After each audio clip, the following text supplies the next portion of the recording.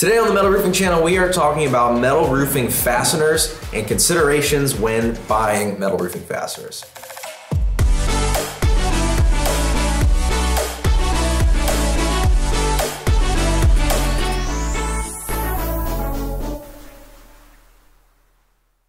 What's up guys? Welcome to the Metal Roofing Channel. I'm Thad Barnett from Sheffield Metals. Today I have Ed from Triangle Fastener Corporation. Ed, thanks so much for being here. No problem. Thanks for having me. Yeah, so we're talking about metal roofing fasteners. Mm-hmm. There's a couple main types, first of all, that we're going to cover, and that's concealed and exposed, Correct. right? So tell me a little bit about, let's start with concealed fasteners and what they mean, what they look like, and, and some considerations when deciding which ones you need. You know, typically your concealed fasteners are on a clip. They're underneath your panels, so they have a low, lower profile head, a pancake head. We have an ultra low profile head, just as low as possible.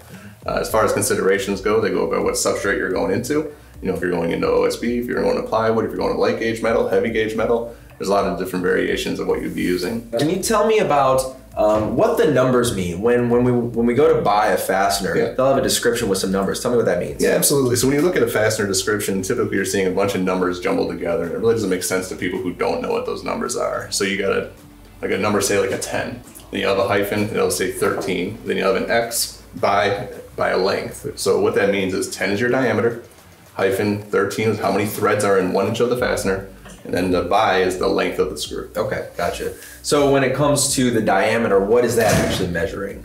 That's the gauge of the metal. Okay. Yeah, so basically a 10 gauge, 12 gauge, 14 gauge, which is quarter. Got it. So on. So when it comes to metal roofing applications in Sheffield specifically, Yes. what what what is the typical size, typical diameter? Yeah, your typical diameter is almost always number 10. When it comes to the ultra low profile, that's also a number 10. And then you also use our 1013, which is your normal gimlet point screw, probably your most common fastener with us, with that and ultra low profile.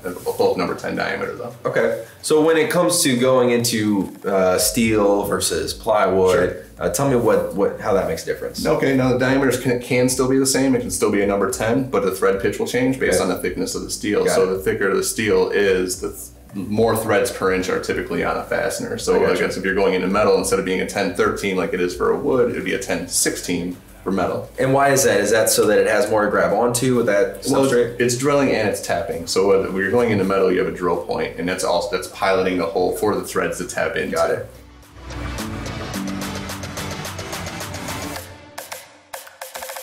So when it comes to head type, what's the differences there? Okay, so head type. Now, if you're not using a clip fastener, you are using exposed fasteners, and exposed fasteners are typically a hex head drive, normally a quarter inch, and then they're also painted. They have an EPDM washer built onto the screw that we have assembled on there for you. It's also which the washer itself is also pre-painted to match your guys' panel. I got you.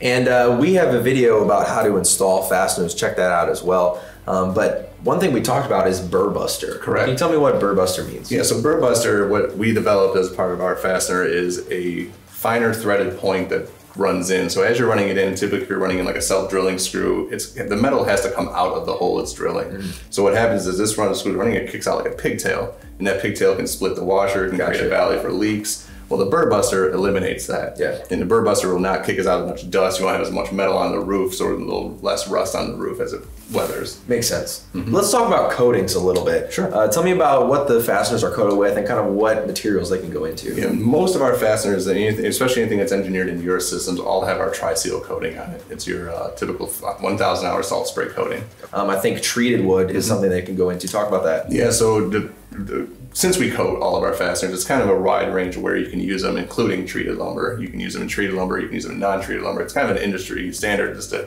have zinc plate, but we like to add a tri-seal coating to almost all of our fasteners just Gotcha. to be ahead of the game. Yeah, that's great. Mm-hmm. So talk to me about the actual material the fasteners are made of. Sure, sure. So we have multiple different types of you know base material. So we have 410 stainless, we have 300 series stainless. Our normal fastener is a carbon steel, but it does have the tri-seal coating on it Okay. for corrosion resistance. Yes.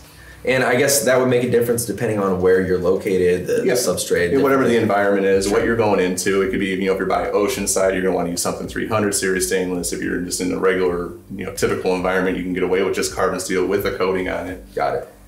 So I know we mentioned this in some other videos, but I think it's important to reiterate here. What tools and RPM speeds, and what does that look like? Uh, would you guys recommend? All right, so most everybody likes to use impacts. They're easy, they're cheap. You know, they run at the very similar RPM to what we recommend, but we don't recommend them because of the strength and the torque. Uh, so what we do recommend is a tool that has a clutch that's adjustable on it. So depending on what substrate you are going into, you're always getting the correct seating of the fastener. Got it. What people don't understand about impact drivers is a picture of a nut on a bolt and putting a wrench on it and hitting it with a hammer to tighten it. Yeah. That's what an impact's doing. You want that. It only takes like 70 pounds of pressure to break a fastener. Yeah. So when it comes to cost, what are some things that affect the price of fasteners? And uh, tell me a little bit about that. Yeah, well, sure. So things that can certainly affect the price of the fastener is what they're made out of. You know, stainless steel is obviously going to be more expensive than what your carbon steel is going to be made out of. Uh, you know, coated screws are going to be more expensive than a zinc plated screw. You know, so there's manufacturing prices that are more expensive than typically not having them manufactured that way. Um, we like to, like I said, step up our game a little bit and we coat everything. So we might not always be the cheapest in the game, but we're going to provide you the best fastener for your application. Yeah, and what are some things that could happen if someone uses an, you know, an inferior fastener? Sure. Now, could, so much as an inferior fastener, if it doesn't have the right coating on it, you can get a reaction between the base material and your fastener, Okay, and yeah. the fastener can fail, Got you know, it. or whatever the weaker of the two metals will fail beforehand.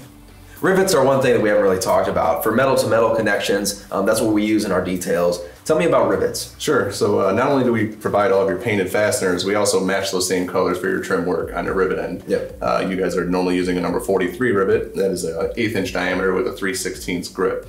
Uh, that means that's how much material it's going to put together. Um, they're all made out of stainless steel. Well, I appreciate it, Ed. This has been great learning about fasteners and some Absolutely. considerations to buy. Comment down below if you have any questions. Big thanks to Triangle and big thanks to you, Ed. Right, really you. appreciate Thanks it. for having me. Subscribe here to the Metal Roofing channel. And as always, I'm Thad Barnett, and we will catch you next time.